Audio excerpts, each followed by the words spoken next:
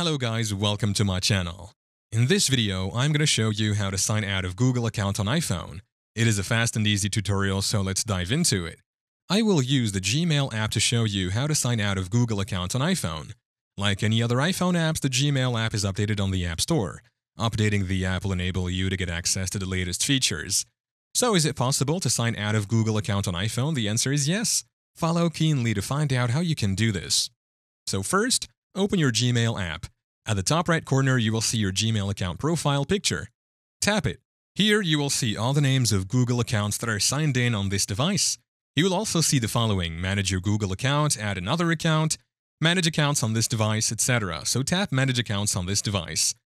Go to Google account you want to sign out, then tap the option Remove from the device. Next, tap Remove. You can also disable the Google accounts by toggling the button off to their next name.